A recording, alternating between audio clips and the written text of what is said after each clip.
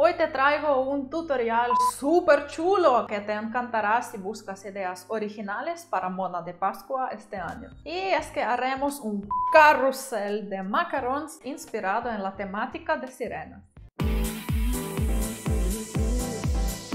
Este formato de pieza es un ejemplo brillante de que los macarons es un producto universal y que puedes divertirte con esos bichitos como te dé la gana, tu límite es tu creatividad. Ahora, ya que estamos en la temporada de Pascua, pues vendo esta idea como si fuera una mona de Pascua, pero oye, este formato puedes adaptar a cualquier ocasión. Obviamente puedes eh, variar la temática, colores, detalles y adaptar este formato a cualquier ocasión como Día de Padre, Día de Madre, Día de los Enamorados, cualquier cumpleaños en cualquier temática que quieras. Eso es como el cubo de macarons, pero todavía no tan visto en redes sociales. Así que aprovecha en ser una de las primeras para elaborar este formato de tarta antes de que se dispare la tendencia y así te diferencias del resto y puedes ofrecer a tus clientes un producto súper original. Crucemos los dedos y empecemos. Antes de todo vamos a prepararnos estas plantillas para la pieza. Yo me las imprimo en el formato DIN A4 en la impresora normal. Aquí tienes indicaciones donde cortar. Vamos a ir por aquí por la marcación de tijeras. Y aquí tienes otra marcación donde poner esta encima para juntar las dos hojas y de esta manera ya obtener la plantilla que quede de tamaño de la bandeja de horno normal. Y simplemente con el celo vamos a juntar esas dos hojas y ya está listo. Todas las plantillas que ves en mis vídeos están disponibles en la web. Es una colección súper económica donde voy añadiendo cada vez más plantillas que uso para todas las ocasiones. Tienes disponible plantillas de formas estándar de varios tamaños, formas irregulares para navidades, pascua, corazones. También iré añadiendo más plantillas para verano y demás temáticas. Todas las plantillas las elaboro yo y las testeo yo para que encajen correctamente en la bandeja de horno y para que tengas esta guía buenísima para escudillar tu macaronage y aprovechar las ocasiones especiales para ofrecer a tus clientes unos macarons originales. Además, aquí en YouTube tienes eh, estos tutoriales prácticos gratuitos para ver cómo trabajar con mis plantillas.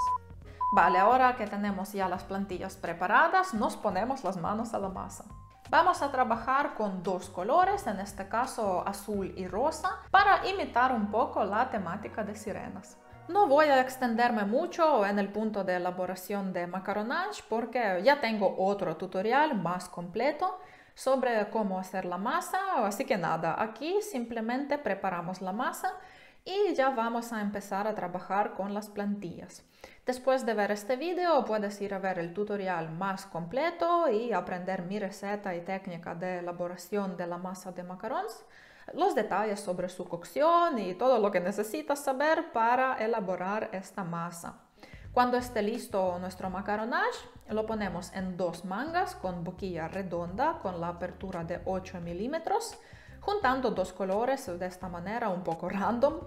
¿Por qué lo hago en dos mangas? Básicamente para que los colores no se mezclen tanto al escudillar y porque de primero Vamos a usar una manga para una bandeja y mientras se hornea la primera bandeja, mantendremos la otra manga con la masa en la nevera.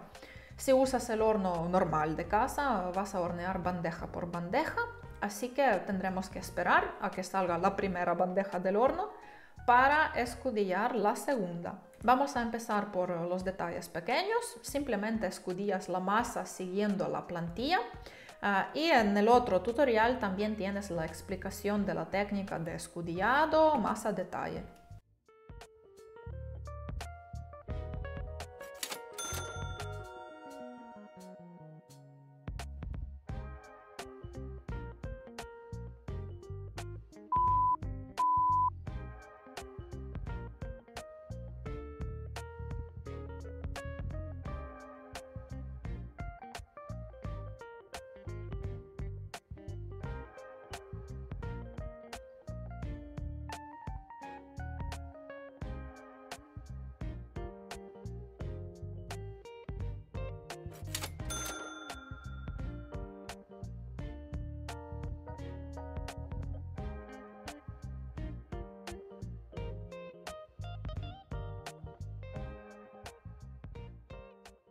Vale, ya tenemos las tapitas preparadas para la pieza. Lo que haré ahora es elaborar los rellenos y lo dejaré todo hasta mañana, hasta que se estabilicen los rellenos y pues para seguir con el montaje mañana.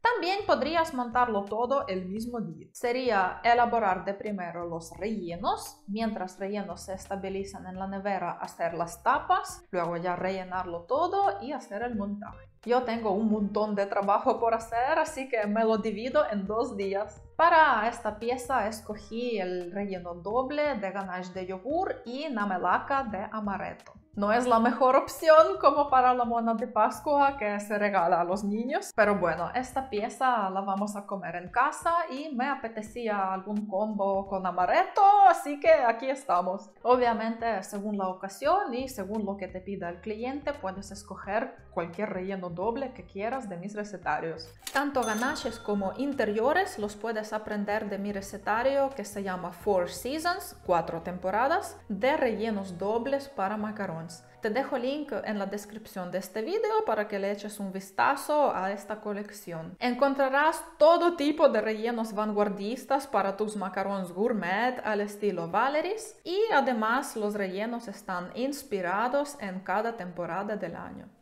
Lo que quiero mencionar aquí es que para ese tipo de montajes es mejor utilizar ganaches clásicas y no montadas, las que ves en recetarios, ya que las clásicas son un poco más, eh, digamos, estables, un poco más densas y también tienen menos humedad.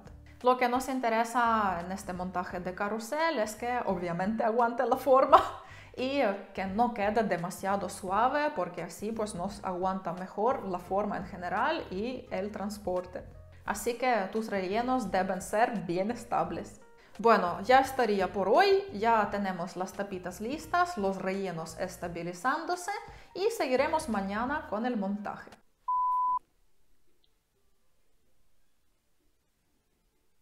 Bueno, bueno, por aquí ya tenemos eh, nuestros rellenos estabilizados. Voy a poner la ganache en la manga con esta boquilla, que es eh, un centímetro aproximadamente de apertura, boquilla redonda. Y la namelaca la voy a poner simplemente en la manga sin boquilla, con apertura pequeñita, pues para insertar namelaca dentro de ganache.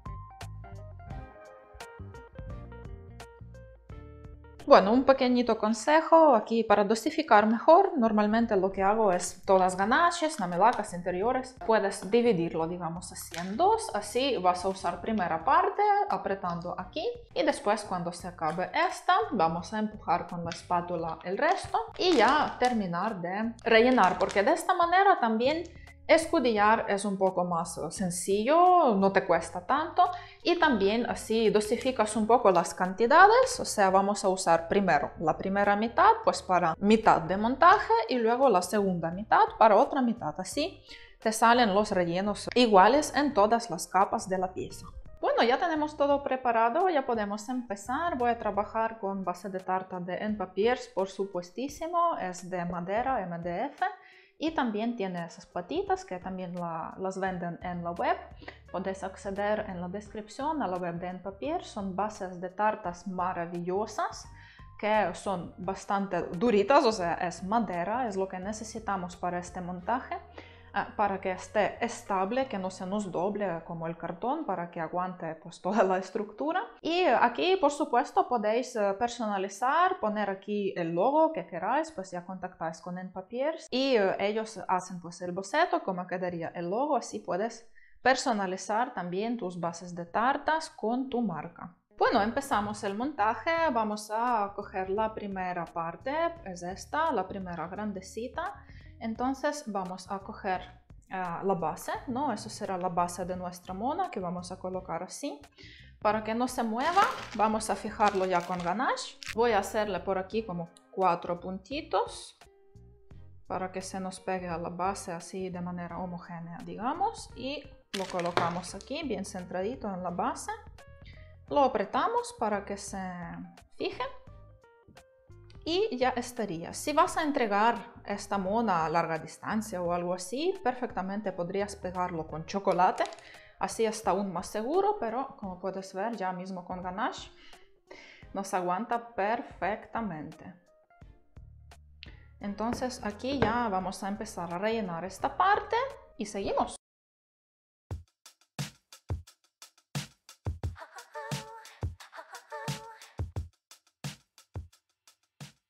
Ahora vamos a insertar la melaca con la apertura así, no muy grande, pequeñita. Le cortas un agujerito no muy grande y entonces vamos a apretar, insertar dentro de cada bolita y insertar un poquito de la melaca en toda la superficie y también aquí en medio de esas bolitas. Lo que nos importa básicamente es que este círculo quede bien bonito porque obviamente eso es lo que es visible por fuera y por dentro aquí lo rellenaremos todo con la melaca así para rellenar un poquito los espacios.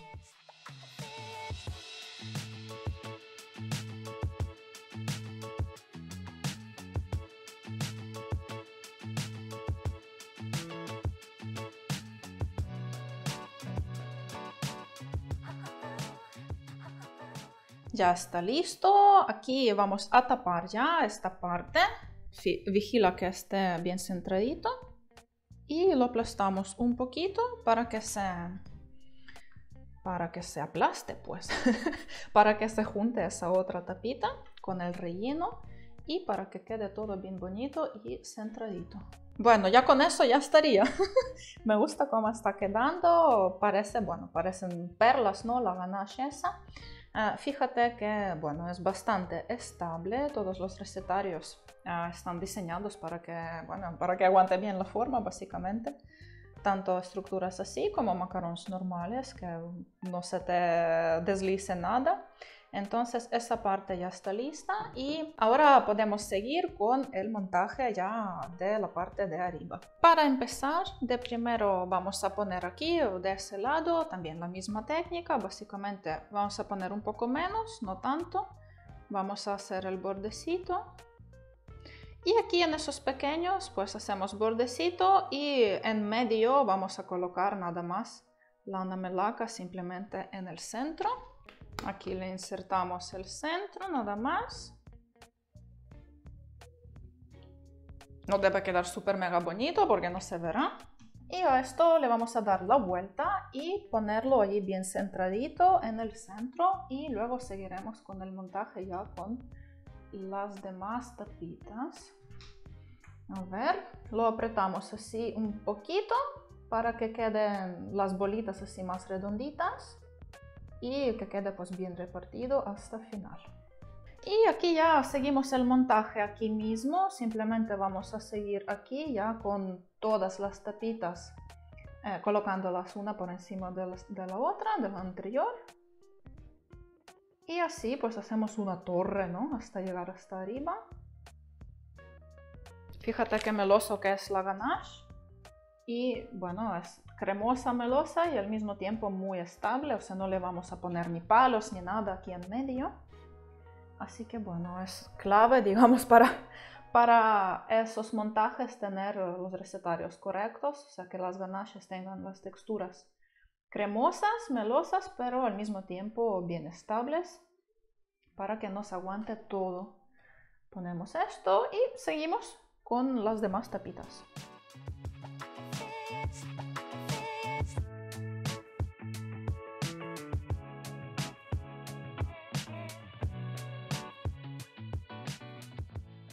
Aquí ya se me acaba esta ganache que puse la mitad antes en la manga. Ahora voy a vaciarla, esa que ya hemos calentado está un poco con calor de la mano. La vaciamos aquí a la segunda mitad, lo movemos un poco para que se iguale un poco de temperatura y de consistencia. Y vamos a volver a meter aquí la ganache dentro de la manga y seguimos el montaje.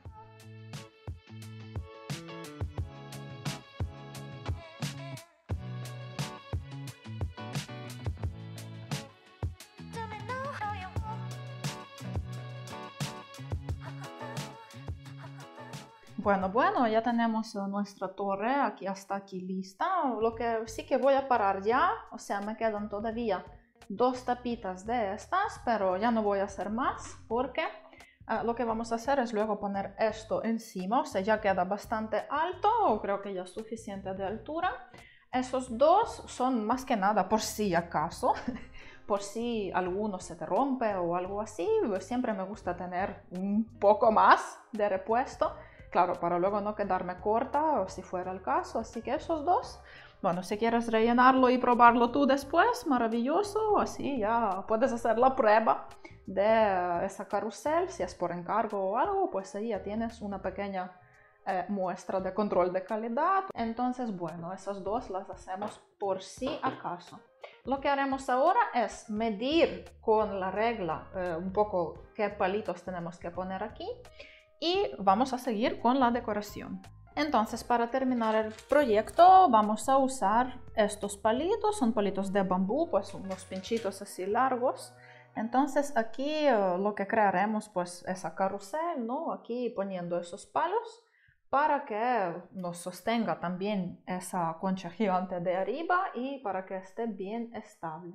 Entonces aquí hemos de medir cuánto es de altura exactamente para recortar los palitos, porque obviamente depende de altura de tus tapitas, de altura con, con la cual vas a escudar la ganache, que eso no lo podemos prever, que no somos máquinas. Entonces aquí simplemente medimos de aquí hasta aquí con la regla para saber cuánto recortamos de palitos y así pues ya mientras eso se estabiliza en la nevera vamos a preparar palitos y también rellenaremos la otra concha. Bueno, a mí lo que me sale son 12 centímetros, 12 de altura, entonces voy a recortar 12 centímetros el palito y así ya tengo todos los palitos con la altura correcta. Eh, eso lo vamos a hacer ahora y de momento esto lo llevamos a la nevera para que se estabilice todo, que quede bien durito toda la estructura para poder terminar el montaje.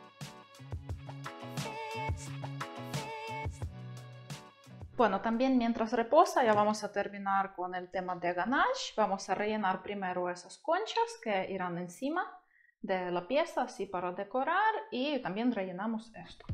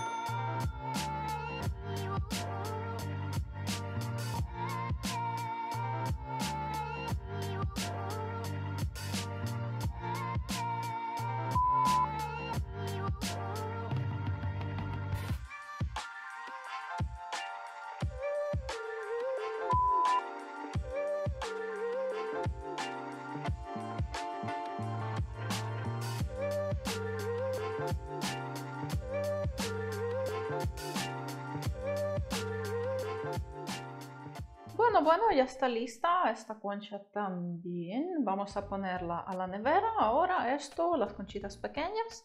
Y vamos a terminar ya de preparar los palitos decorados. Y bueno, ya nada, terminamos el montaje. Como dijimos, vamos a recortar 12 centímetros de altura los palitos.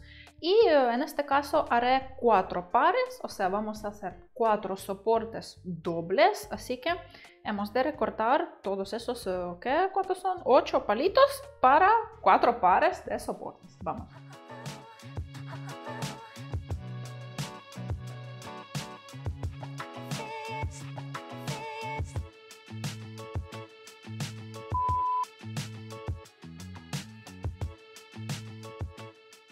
Listo, ya tenemos los palitos recortados. Ahora para decorarlos vamos a fundir chocolate blanco en microondas. Y también usaré esas perlas de azúcar. Aquí hay dos tamaños de perlas, un milímetro y medio y cuatro milímetros. Pues puedes utilizar esos tamaños aprox. Eh, vamos a mojar, digamos, esos palitos en chocolate blanco y después mojarlo en sprinkles. Y de esa manera tendremos pues los palitos así decorados con perlitas que parecerán bastante como burbujitas de mar. Bueno, antes de todo vamos a juntar los dos palitos, eso ya que tiene aquí esa parte más ancha, pues me gusta mucho porque así será la base más sólida, ¿no? De un lado y del otro, entonces vamos a hacer esa base doble, por ejemplo, entonces simplemente de primero vamos a, coger el chocolate fundido, ¿no? Vamos a untar aquí esa parte y lo juntamos. Más que nada, eso, lo primero es juntar los dos palitos y lo vamos a dejar que se estabilice, ¿no? Y vamos a hacer esto con todos los demás. Y así pues ya tenemos cuatro palitos así bien pegaditos y bien sólidos. Hasta que acabé con el último, pues ya el primero ya está sólido. Entonces aquí ya vamos a untar pues con ese mismo chocolate eh, el palito por fuera, por dos lados y lo vamos a mojar en sprinkles, así de esa manera se pegan. Esto nos servirá de tanto de soporte como de decoración obviamente para carrusel. Me he preparado una especie de platito así de aluminio para poner aquí sprinkles y después para que esté más cómodo mojar aquí y para que no se nos vayan por toda la mesa, pues aquí una, una pequeña obra de ingeniería. Entonces vamos a colocar aquí los sprinkles y empezamos.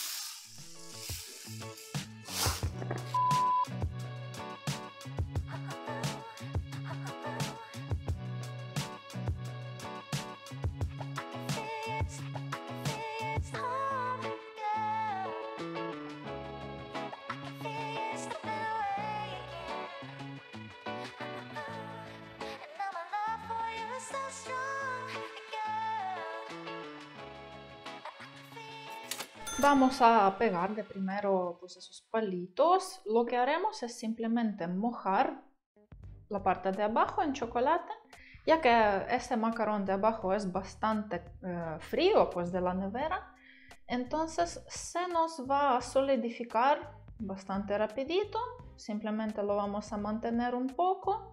Único que también hay que ver aquí alguna superficie, ¿no? Que esté así bien bien recta de algún lado donde está más recto posible y lo vamos a colocar así y vamos a aguantarlo un poquito eh, más que nada para que se termine de cuajar el chocolate de abajo. Obviamente debe estar bastante recto y también no lo muevas demasiado eh, para que el chocolate de abajo solidifique bien. Esperamos un poquito y bueno, ves, ya está uh, sólido. Puedes aguantar un poco por si acaso, pues para que se termine de enfriar, pero bueno, por allí va. Y de esta manera vamos a pegar uh, el resto, ¿no? Tres palitos más. no, no me terminó de gustar ese ángulo, vamos a hacerlo así. ¿Qué opinas? Aquí es un poco ir viendo cómo queda mejor visualmente vez de ponerlo así, creo que así sería lo suyo. Vamos a repetir.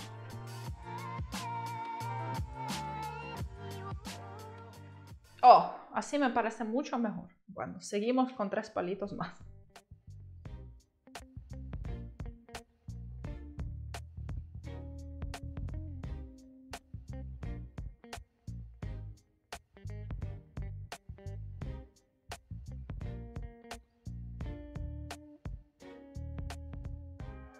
Vale, ya casi lo tenemos aquí. Simplemente vamos a poner un poco de chocolate en todos los palitos y aquí arriba. Y también si luego te falta un poquito de altura, lo que hice es cogí el chocolate que empezó ya a solidificar. Simplemente hice bolita con ese chocolate y vamos a colocarlo aquí. Ya simplemente medimos cuánto nos falta. Si falta un pelín de altura, pues si tus palitos quedaron un pelín más altos, porque es también muy importante, aunque sean un par de milímetros, ah, pues hay, que ajustarlo, ¿no? Entonces de esta manera pues lo ajustamos. Entonces vamos a coger ese chocolate fundido, vamos a pegar ese trocito que hemos hecho y de ahí ya manchamos aquí los palitos y colocamos la concha encima.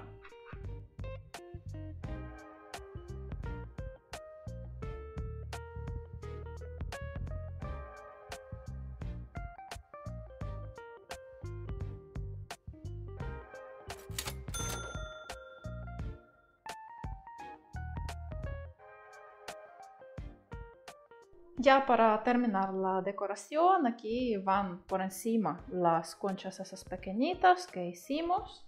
Así que simplemente primero voy a colocarlas para ver a ver qué tal queda y luego las vamos a fijar así igualmente con un puntito de chocolate para que no se nos caigan en camino. Y ya estaría listo. También lo que quiero hacer es eh, quizás hacer algunos detallitos así conchas, estrellitas de mar Ah, de fondant, puede ser de chocolate, para pegar por aquí en esos palitos, también quedaría súper chulísimo. Esto ya es opcional. Y bueno, aquí ya, ya estarían esas conchas arriba. Vamos a pegarlas con el chocolate.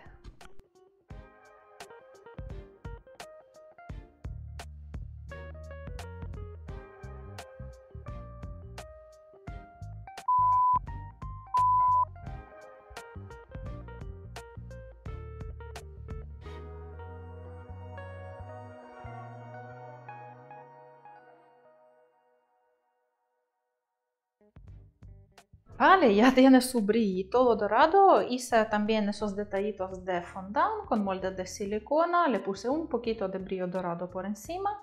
Y entonces ya por último vamos a pegar en la lateral también con el chocolate. Aquí esos detallitos y ya estaría listo.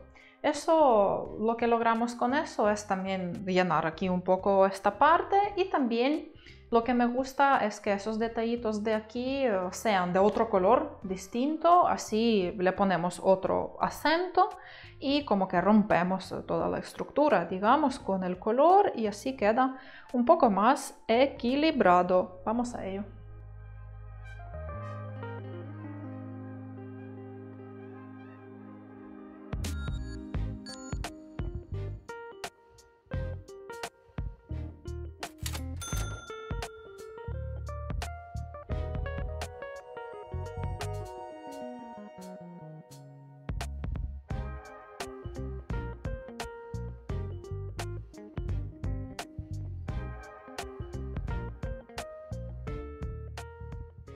¿Qué te parece esta obra de arte? Ahora te preguntarás, ¿y cómo se come? Bueno, me tendré que sacrificar.